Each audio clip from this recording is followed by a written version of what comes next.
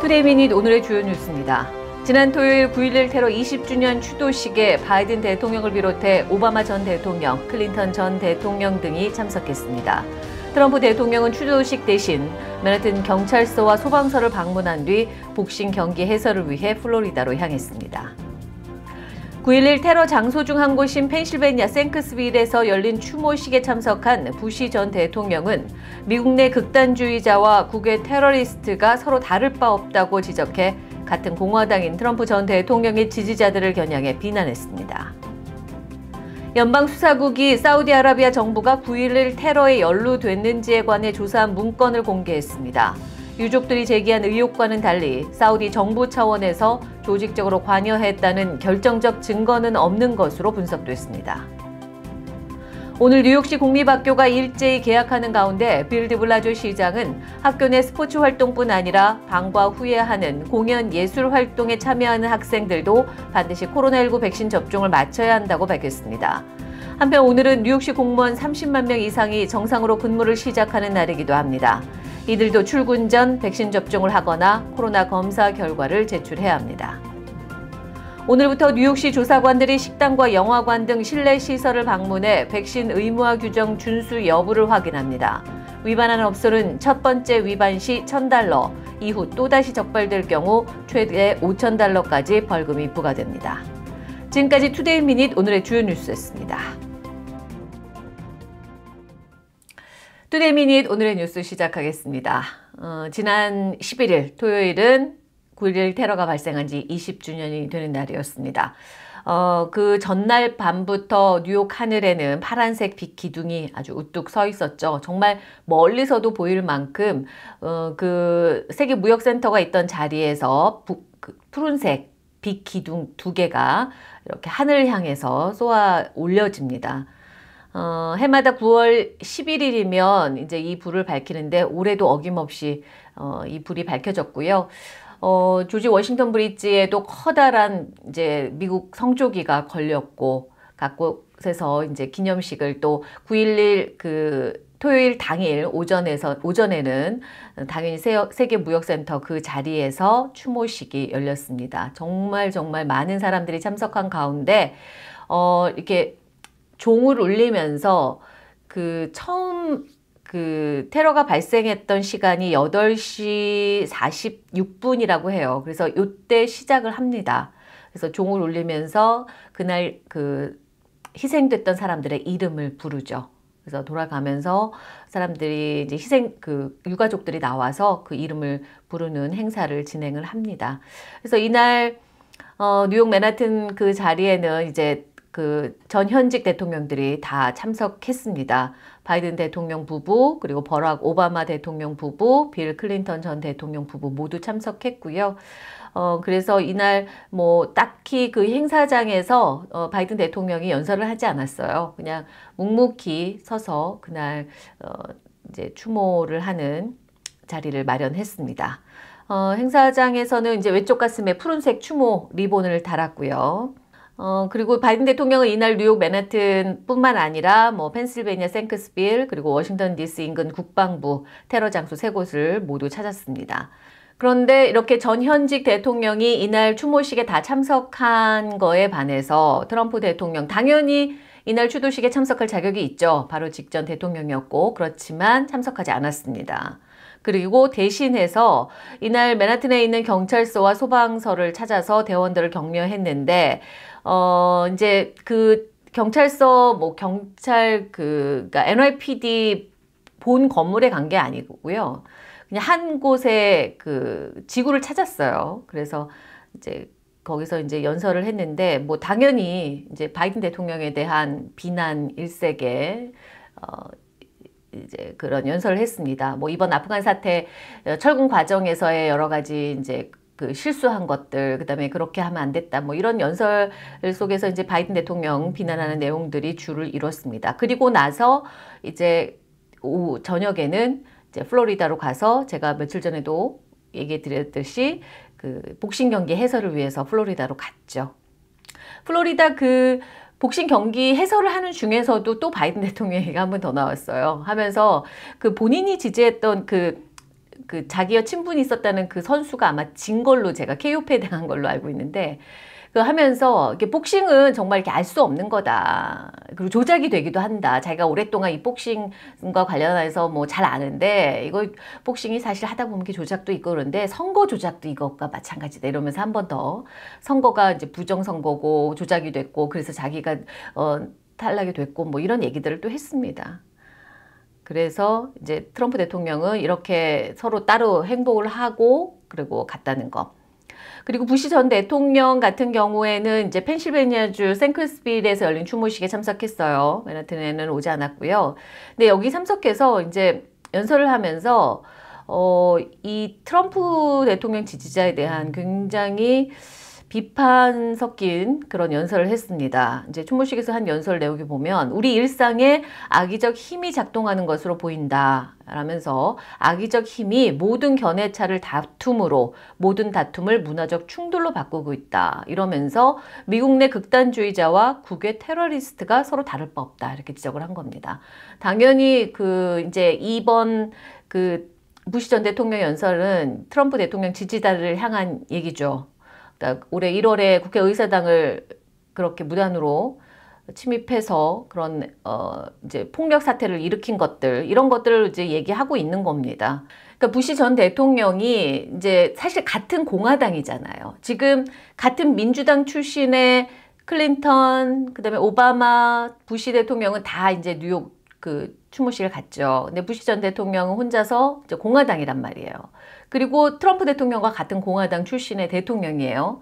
그래서 이제 생크스빌에서 혼자 연설을 하면서 그래도 공화당 출신 대통령으로서 트럼프 대통령을 그렇게 대놓고 비난한다는 거는 조금 공화당 지지자들 입장에서는 그럴 수 있는데 사실상 이거를 어떤 같은 테러리즘, 그러니까 국외에 있는 테러리스트들과 다를 바 없다라고 아주 확연하게 구분해서 그렇게 얘기를 했다라는 건 굉장히 의미심장하게 들어야 한다. 이렇게 언론들이 지금 분석하고 있습니다. 언론들도 뭐라고 하느냐면 지금 미국 내 극단주의자들 그러니까 주로 트럼프 대통령 지지자들이죠. 뭐 큐어넌을 비롯해서 이렇게 이슬람 근본주의자보다 더 위험하다. 그러니까 우리가 자꾸만 뭐 그 중동 국가들 그리고 테러 집 그 뭐 테러 집단이라고 이제 딱 그 지정해 놓은 그 국외의 테러리스트들 뭐 이런 얘기들만 계속하고 그들이 뭐 미국을 위협한다 이렇게 얘기를 하지만 실상 보면 그냥 국내에 있는 미국 내에 있는 이런 극단주의자들이 오히려 더 위험할 수 있다. 이런 얘기들인 겁니다. 사실 그 싱크탱크 뉴 아메리카 재단이 보고한 보고서에 따르면요. 9.11 테러 이후에 미국 내 테러리스트에 의해서 숨진 사람은 251명인데 그 극우파 테러리스트에 의해서 숨진 사람이 이들 중에 114명이나 된다는 겁니다. 다 미국 시민들이죠. 미국 시민권자들입니다. 그리고 이 지하디스트라고 하죠. 이슬람 성전주의자를 자처한 이들의 손에 목숨을 잃은 사람이 107명. 그런데 더 많죠. 114명인 거예요. 극우파 테러리스트에 의해서 목숨을 잃은 사람들이. 여성 혐오자, 그리고 인셀이라고 해서 비자발적 독신주의자가 살해한 사람이 17명. 흑인 분리주의자, 국수주의자, 백인 우월주의자 희생자는 12명. 극좌파에 희생된 사람 1명. 그러니까 여기에 그 애틀란타에서 살해된 우리 한인들 스파에서 일하셨던 여기 다 희생자들 포함이 되는 거예요. 그들이 뭐 어디 외국 이슬람 그런 무장 세력에 의해서 희생이 된 게 아니잖아요. 그러니까 사실상 미국 내에 있는 이런 극단적인 구구 세력에 의해서 희생된 사람들이 훨씬 더 많다는 겁니다. 외국의 테러리스트에 의해서 희생된 사람들보다. 그 보고서를 쓴 데이빗 스터먼이라는 뉴 아메리카 재단 선임 정책 분석가가 뭐라 그랬냐면요. 극우파는 충분히 주목받지 않고 있다. 그래서 극우파의 극단주의는 미국 정치권 주류에 가까운 견해 덕에 경찰이 위협으로 여기기 더 어렵다는 점이 명백히 입증됐고 인종차별도 여기에서 큰 역할을 한다. 그러니까 사람들이 테러다. 어떤 테러의 위협이 있다라고 하면 당장 피부색이 좀 다르고 그 외국의 중동인들을 타격이 되죠. 타겟이 되죠. 절대로 백인들이 타겟이 되진 않잖아요. 그런데 여기에 극단주의 극우 세력의 대부분들이 백인이란 말이에요. 그러니까 백인들이 만약에 만약에 그, 그래서 그때 의사당에 막 난입했을 때도 그러잖아요. 흑인들이 만약에 그랬다 난리가 났을 겁니다. 진짜. 그렇지만 그 대부분의 백인들이었고 경찰들 입장에서도 그렇게 강력하게 진압을 하지 못한 것이 그런 데 있는 거 아니냐라는 분석이 그때도 그런 얘기가 나왔었거든요. 그러니까 우리가 그렇게 주목하지 않는 백인이기 때문에 그렇게 뭐 미국 시민권자들이기 때문에 극단주의자들에게 주목하지 않는 사이 희생자는 더 늘어나고 있고 그들의 테러 행위들이 어떻게 보면 눈밖에 나고 있는 거 아니냐. 우리가 거기에 대해서 더 주의하지 못하는 게 아니냐. 이런 지적을 한 겁니다. 맞는 분석인 거죠. 그래서 이번에 그 부시 전 대통령 연설을 통해서 어 우리가 좀 새롭게 과연 누가 우리의 진정한 적인가를 좀더 분명히 할 필요가 있고 그리고 그들에 대한 우리가 극단주의자들에 대한 시각 그리고 그들의 그들의 그 위협에 대해서 우리가 조금 더 경계하고 긴장하고 그걸 분명하게 테러로 규정을 해야 한다 이런 얘기인 겁니다. 어, 그리고 이번에 이제 9.11 20주년을 맞아서 그, 그동안 그 유, 유족들이 계속해서 요구한 게 있었어요. 뭐였냐면, 9.11 사태가 사우디아라비아 정부가 당시 테러에 연루됐는지 이걸 조사한 문건이 있거든요. 그런데 그 유족들이 이 문건을 공개해라 이렇게 바이든 대통령이 요구한 거예요. 만약에 이번에 20주년을 기념해서 이 문건을 공개하지 않으면 바이든 대통령 추도식에 오실 필요 없다. 이렇게까지 얘기를 했습니다. 그래서 바이든 대통령이 결국 이 문건을 공개하기로 하죠. 그래서 공개가 됐어요. 그런데 생각보다 그러니까 유족 측은 연루가 됐을, 됐을 거다라고 이제 다들 추측을 하고 있었는데 어, 그 문건 내용에 의하면 사우디 사우디 측 인사가 테러범의 당시 테러범의 여행이라든가 숙박 등을 지원했다는 진술은 있지만 9.11 유족들이 이제 제기한 것처럼 사우디 정부 차원에서 조직적으로 관여했다라는 결정적인 증거는 없는 것으로 그 조사된 문건에서도 나왔습니다. 어, CNN 방송에 따르면 이 FBI가 기밀을 해제해 공개했는데요. 이게 16쪽짜리 문건이거든요.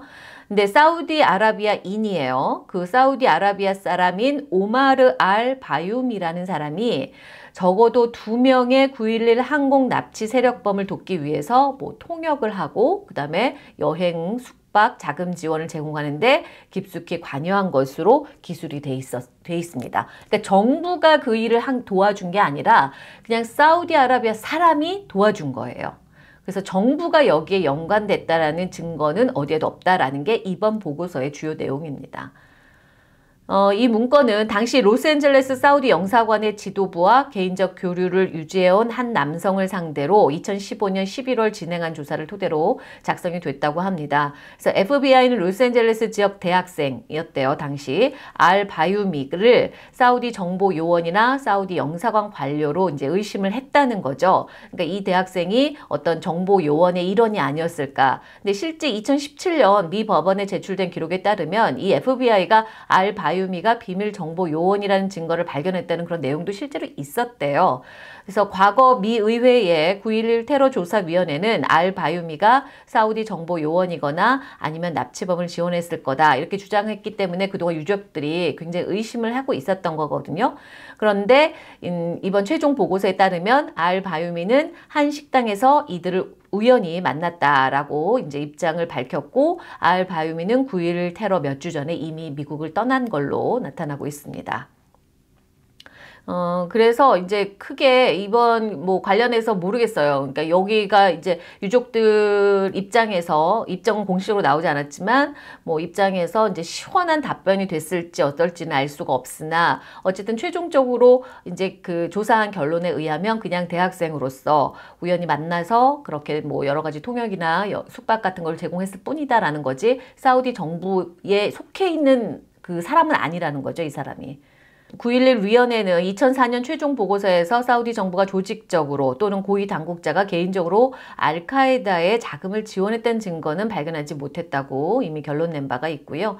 그래서 지난달 법무부는 FBI가 비행기 탈주범과 공모 의심자 간 조사를 완료했다라고 밝혔고 그 완료한 내용이 이번에 공개된 문서입니다. 이번에 전해드릴 소식은 어, 이제 9.11 20주년 테러, 테러 20주년을 맞이해서 이번에 이제 한국의 또 경향신문이 어, 당시에 이제 세계무역센터 건물 인근에서 마켓을 운영하던 한인이에요. 윤건순 씨의 윤건수 씨에 대해서 이제 재조명하는 기사를 실었습니다. 뭐 한, 여기 오래 살고 계셨던 분들은 이분에 대해서 이미 또 익히 알고 계시겠지만 다시 한번 이분이 그 당시에 했던 그 되게 훌륭한 일들이죠. 그런 일들에 대해서 한번 소개를 해드리겠습니다. 어, 윤건수 씨는 2001년에 9.11 테러 이후에 한동안 이제 미국 언론의 조명을 받으면서 상당히 유명한, 어, 이제 인, 유명한, 유명 인사가 됐습니다. 2003년에 뉴욕시 경찰청 강력계 경찰들로부터 감사패를 받기도 했고요. 당시 이제 그 선행으로 인해서 그리고, 어, 계속해서 이제 언론의 주목을 받았었습니다. 어, 윤건수 씨는 1982년 미국으로 이민 와서 1984년 식료품 소매업을 시작했고요. 1988년 Morgan's Marketplace를 인수해서 이제 현재도 운영을 하고 계십니다. 어, 이 본인의 그 marketplace가 어, 9.11 그 테러 현장에서 한 다섯 블록 정도밖에 떨어지지 않은 그 인근에서 이제 마켓을 운영하고 계셨던 거예요. 어, 그래서 9.11 그 테러가 발생하고 나서 피해자 수색과 구조 작업이 이제 바로 이루어졌잖아요. 그래서 그 수색 및 구조 작업에 투입됐던 소방관 그리고 경찰관들한테 본인의 가게를 사실상 무상으로 개방을 한 겁니다. 그래서 당시 그 본인 가게에 있는 물과 식료품을 이 소방관들에게 제공을 했던 거죠. 어, 이분의 말에 의하면 이제 그때 당시 2001년 9월 11일 그냥 화요일이었습니다. 평일 아침이었죠. 어, 갑자기 이제 경찰들이 오더니만 문을 모두 닫고 나가라 이렇게 얘기를 했었대요. 그러니까 통제를 했던 거죠. 그 사, 9.11 사태 빌딩이 무너지고 했던 그 주변 지역들의 이제 민간인들을 철저하게 통제를 했던 거예요. 그래서 이제 나가라고 했는데 이분 말은 당시 이제 그 마켓플레이스는 24시간 영업이었대요. 그래서 문을 닫을 셔터도 없고 그러니까 뭐 한 번도 닫아본 적이 없으니까. 그래서 이제 닫을 수도 없고. 그래서 우선은 본인들의 그 히스패닉 직원들을 집으로 돌려보냈대요. 그리고 그 윤건수 씨를 포함해서 이제 그 한인 직원 4명만 그 가게에 남은 거예요. 이제 가게를 지켜야 되니까 셔터를 내릴 수가 없잖아요. 음, 그러면서 이제 본인의 가게에서 이 세계무역센터 건물이 한 600m 정도 떨어져 있었대요. 그러니까 그 당시 그 사건을 아주 가까운 위치에서 생생하게 다 목격을 한 거죠. 그 그 우리가 그 화면상에서도 봤지만 건물이 무너져 내리면서 그 먼지가 몇 블락이나 막 퍼져 나갔잖아요. 그러니까 그, 그 먼지들 때문에 사실 그 구조 활동을 하던 소방관들과 경찰관들 그 응급 그 대원들이 지금 다 그 병에 걸리고 있다는 거 아니겠습니까? 다 성명가루고 화학물질이고 이런 것들인데 그리고 그 당시에 뭐 전기도 다 나갔고요 주변에 당연하겠죠 휴대전화도 터지지 않았었다고 그래요.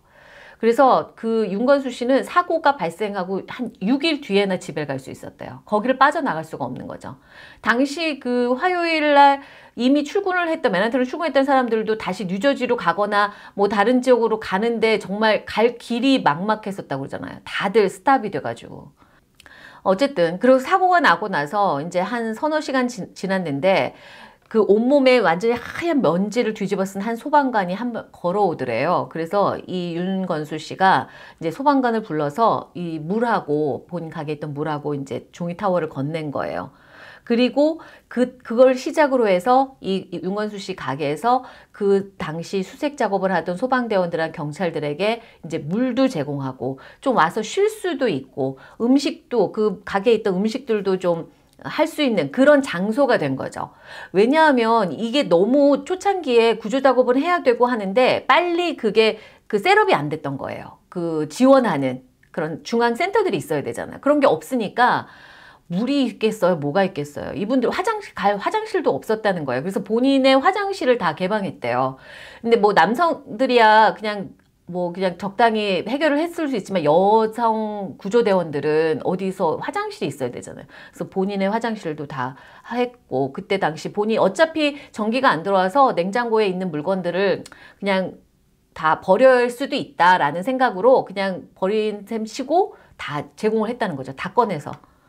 뭐 물, 맥주, 화장지, 빵, 스낵 뭐 먹을 수 있는 건 다 그냥 다 무상으로 지, 어, 지원했다라는 겁니다. 어차피 손님도 없었고 주변에 뭐 민간인들 들어올 수도 없고 나갈 수도 없고 누가 먹을 거를 갖다 주겠으며 이 사람들은 그런 그냥 길거리에서 계속 생활하면서 구조 작업을 이어가야 되는데 소방관들 같은 경우 그래서 좀 그런 일들을 한 거예요. 이때 당시에 그리고 2주나 뒤에 2주나 뒤에 인근 공터에 그 적십자하고 구세군이 이런 일부 필요한 물품들을 가진 그런 지원 센터를 설립했다고 하니까 사실 그 발생 그 사건이 발생하고 직후에는 굉장히 열악한 상황이었죠 여러 가지. 당시 이분이 그래서 이렇게 무상으로 물이며 본인의 이제 그, 식, 그 마켓플레이스에 있는 음식들을 지원한 게 약 한 3만 달러 정도였대요. 엄청나죠. 그거를 다 무상으로 지원한 거예요. 뭐 담배 정도만 돈을 받았대요. 그리고 나머지 뭐 물품에 대해서는 다 하니까 이게 이제 그때 그 당시 그래갖고 언론에 조명이 된 거예요. 막 언론에 소개를 하고 그래갖고 미국 전역에서 막 수표가 왔대요. 그래서 그 이 윤건수 씨의 선행에 대해서 너무 감사하다 막 이러면서 어 이제 보상을 하겠다 하고 이제 했는데 그때 한 3천 달러 정도가 왔었다고 하네요. 그러니까 이게 여러분 20년 전이니까 이 요즘의 3만 달러보다 훨씬 더 높은 거예요. 이 물가 상승을 계산하면. 그래서 한 3천 달러 정도 왔는데 그거는 또 노숙자 센터에다 다 기부를 하셨다고 합니다. 그런데 뭐 그 이후에 이제 사실 그분이 이제 보험을 들, 들었을 거 아니에요. 근데 보험 그 내역에 보험에 이런 테러 피해 항목은 없었대요. 그래서 보험사로부터 어떤 혜택을 받을 수 없는데 이분의 사연이 이제 언론을 통해서 다 공개가 되고 소개가 됐잖아요. 그래서 보험사들도 어 이번에는 좀 예외로 해서 너희에게 손해 보상을 해주겠다. 그래서 그 보상도 받고 그리고 피마 연방재난관리청에서도 재난지원금을 받고 그래서 나중에 결국은 본인은 손해 받은 거 없다. 나는 그때 그냥 한 일이 그래서 결국은 피해 본 일 없이 그래도 많은 사람들 도와줄 수 있어서 보람이 있었다. 이렇게 이제 말하고 있습니다. 그래서 그 뒤로부터도 이 소방관들과 경찰관들 얼마나 고마워요. 그쵸? 그래서 자주 찾아왔대요. 그리고 매년 이제 9.11 추모 행사가 있었잖아요. 그 추모 행사 있을 때마다 이 가게를 반드시 들렸다고 그래요. 들려와서 이제 고마움도 표시하고 그때 당시 이제 좀 본인들이 먹었던 좀 뭐 가격 뭐좀 좀 지불하고 싶어서 돈 이렇게 좀 주선주선 꺼내려 그러면 너 지갑에 있는 돈 다 주기 줄 거 아니면 그 돈 꺼내지 마 뭐 이렇게 하면서 이제 만류하기도 했다라고 하는데 그래서 사람들이 계속해서 찾아와 주고 그런 일들을 했었다라고 합니다. 그런데 이제는 찾아오는 사람이 없대요. 20년이 지났잖아요. 그 당시 그 구조 활동을 했던 소방관 경찰관들이 이미 다 퇴직을 했을 거라고 하네요.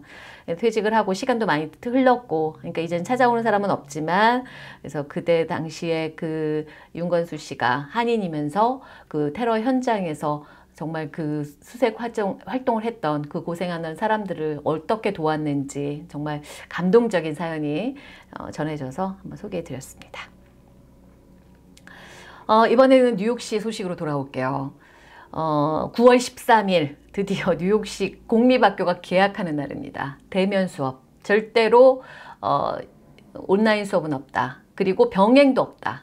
무조건 다 대면 수업이다 해서 본격적으로 문을 여는 겁니다. 그래서 9월 13일을 기해서 공립학교 개학을 하는데 어, 이 개학일을 앞두고 드블라조 시장이 한 가지 더 좀 강화된 그 백신 접종 관련해서 의무사항을 발표했습니다. 뭐냐면 그 백신 그러니까 교사하고 교직원들은 전부 백신 접종이 의무화예요. 그런데 학생들은 그 백신 접종 의무화는 아닙니다. 그런데 의무화시킨 분야가 있죠. 뭐냐면 앞서서 뭐가 있었냐면 우선 스포츠 활동 그러니까 좀 실내에서 하고 그리고 접촉이 많은 그런 스포츠 활동을 하는 그 학교 스포츠 활동을 하는 학생들은 반드시 백신 접종을 해야 돼요. 그리고 나서 이번에 지난 금요일에 발표한 건데 그 중에 하나 또 추가한 게 뭐냐면 방과 후에 아이들 뭐 댄스 동 댄스도 한, 하기도 하고 그 다음에 밴드도 할, 하고 뭐 여러 가지 활동하는 게 있죠. 뭐 합창, 뮤지컬 이런 거 하는 그런 방과 후 활동하는 학생들도 반드시 백신 접종을 하라고 어, 의무화를 했습니다. 근데 사실 그 뭐 만약에 뉴욕시에 근데 예술학교나 이런 데는 이런 뭐 댄스라든가 밴드, 합창, 뮤지컬, 치어리딩 이런 게 필수 과목이잖아요. 그럼 이런 학생들은 어떡하냐. 그래서 그런 예술 학교는 괜찮다. 단지 이게 적용되는 건 방과 후 활동일 경우 방과 후 활동으로 이걸 하는 경우에만 백신 접종을 반드시 해라. 여기 참석하는 학생들은. 그래서 그걸 한 가지 더 발표했습니다. 어, 그리고 나서 지금 뉴욕시에 이제 12세에서부터 17세 학생들이 이제 백신 접종을 할 수 있잖아요. 근데 지금 한 3분의 2 정도가 백신 접종을 마친 걸로 나왔어요. 그래도 상당히 높죠. 그래서 아마 계약을 하면서 더 높아질 것 같고요. 그리고 이제 13일은 9월 13일은 뉴욕시 공립학교 개학일이면서 뉴욕시 공무원들이 일제히 다 어, 복귀하는 날입니다. 그 그동안은 집에서 재택근무를 했었는데 이제는 다 사무실로 복귀해야 돼요. 13일을 기해서. 이게 한 30만 명 정도 되고요. 이 사람들은 이제 5일 근무, 풀타임으로 5일 근무를 해야 되고요. 어, 재택근무와 병행하거나 원격 근무 허용되지 않습니다. 뉴욕시 공무원들도 모두가 사무실에 직접 일주일에 5일은 출근해서 일을 해야 됩니다. 풀타임으로. 그리고 뉴욕시 공무원들은 백신 접종이 의무화죠. 그런데 예외는 뒀어요. 백신 접종 안 할 사람들은 매주 한 번씩 코로나 바이러스 검사해서 음성 확인서 제출해라. 이두 가지 중에는 하나 해야 됩니다. 13일부터 시행되는 게 또 하나 있습니다. 바로 뉴욕시 조사관들이 식당과 영화관 등 실내 시설을 방문해서 백신 의무화 규정 준수 여부를 확인하기 시작합니다. 단속하는 거죠. 적발되면 벌금을 물리기 위해서. 사실 지난 이제 16일부터 이미 시행이 되고 있어요. 그래서 식당, 영화관 이런 실내업소 이제 가는 들어가려면 백신 접종 증명서 제출해야 되죠. 많은 분들이 경험하셨을 텐데 뭐 가장 손쉬운 방법은 그 뉴욕주 엑셀스 패스를 제출하거나 아니면 그 접종 증명서 갖고 다니는 게 좀 불편하면 그거 사진 찍어서 누구나 스마트폰 들고 다니니까요. 그 사진만 보여줘도 입장이 가능합니다. 그런데 이게 그냥 그동안 16일부터 지금까지는 그냥 운영이 됐는데 13일부터는 본격적으로 이제 단속에 나서는 거죠. 그래서 이번 단속은 뉴욕시 셰리프국 그리고 교통국, 위생국, 빌딩국, 소방국 이 13개 기관의 조사관들이 맡게 된다고 합니다. 그러니까 어느 국에서 나올지 몰라요.